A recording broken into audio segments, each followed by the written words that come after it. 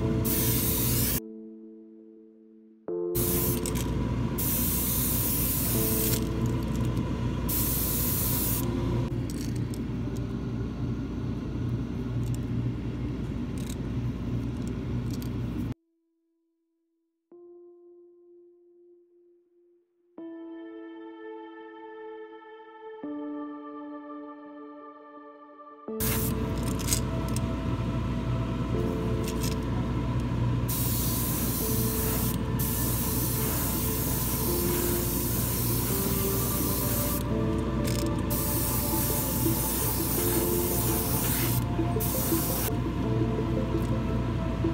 thank you